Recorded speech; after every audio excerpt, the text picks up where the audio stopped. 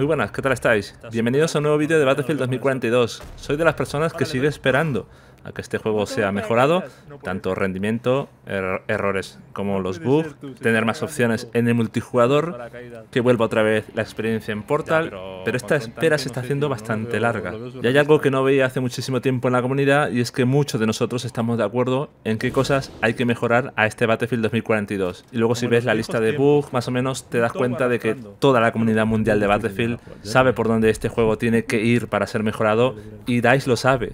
El problema aquí es algo que yo llevo viendo a DICE desde hace muchísimos años. Es la manera de solucionar los errores. Y es saber priorizar. DICE lo que suele hacer con los Battlefield es esperarse a un parche gordo en donde intenta solucionar la mayor cantidad de errores. Y esta es la manera de trabajar de esta empresa, ¿no? Sin más. O por lo menos que yo recuerde. Por ejemplo, tengo el recuerdo de Firestore. Teníamos un bug del sonido el cual convivíamos con él durante más de mes y medio. ¿Y por qué no se arregló ese bug al momento? Un bug que era bastante modesto. Pues no se arregló al momento porque es lo típico. DICE tenía pendiente o tenía programado un parche más o menos gordo para Battlefield 5 en el que estaba incluido ese arreglo de ese bug del sonido en Firestone. Pero os puedo decir un montón de bugs, ¿vale? A lo largo de, Battlefield 5. Digo Battlefield 5 porque es el último Battlefield que hemos tenido. Y ahora está pasando algo parecido con Battlefield 2042, por ejemplo. La gente está muy, muy mosqueada con el tema de que no tengamos opciones de multijugador.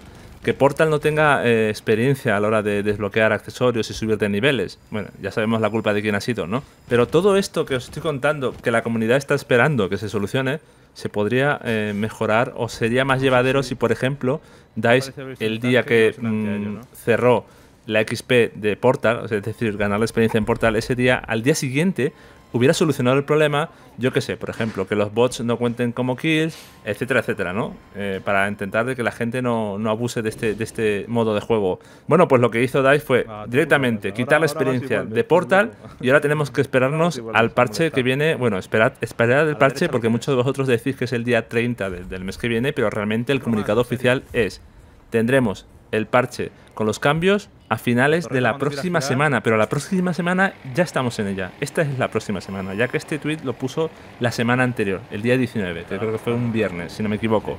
Entonces el parche está a caer ya. Esta semana tiene que caer el parche. Con lo cual habría pasado una semana del lanzamiento mundial y 15 días, más de 15 días del acceso anticipado el tiempo que lleva la comunidad esperando poder tener el juego en condiciones eh, puede parecer poco, puede parecer mucho, pero hay gente que es muy impaciente.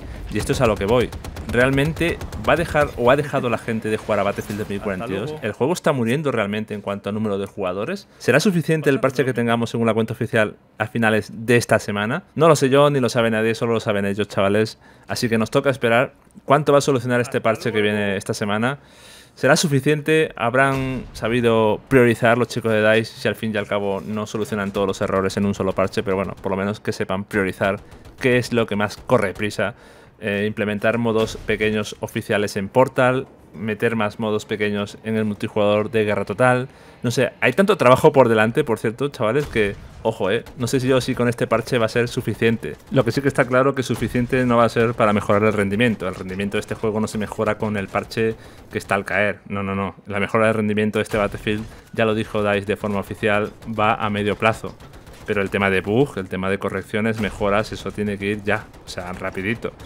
Chicos, quiero que me dejéis en los comentarios, ya que este vídeo va de priorizar, quiero que me dejéis vosotros en los comentarios si tuvierais que priorizar tres cosas de Battlefield 2042 que mejorar, corregir o arreglar, ¿cuáles serían esas tres prioridades? Yo espero que DICE meta un montón de arreglos y cambios el día del parche.